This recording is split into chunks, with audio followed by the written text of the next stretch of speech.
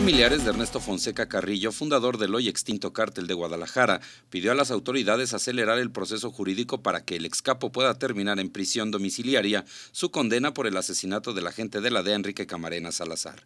El abogado de la familia, Ernesto del Castillo, dijo que el Ministerio Público Federal ha postergado en tres ocasiones la ratificación de la idoneidad del domicilio en una diligencia que es fundamental para que Fonseca Carrillo, alias Doneto, pueda obtener el confinamiento domiciliario. Lo a que se informe de más noticias en el portal www.724.mx. Redacción y voz, Arturo Ramírez Hernández.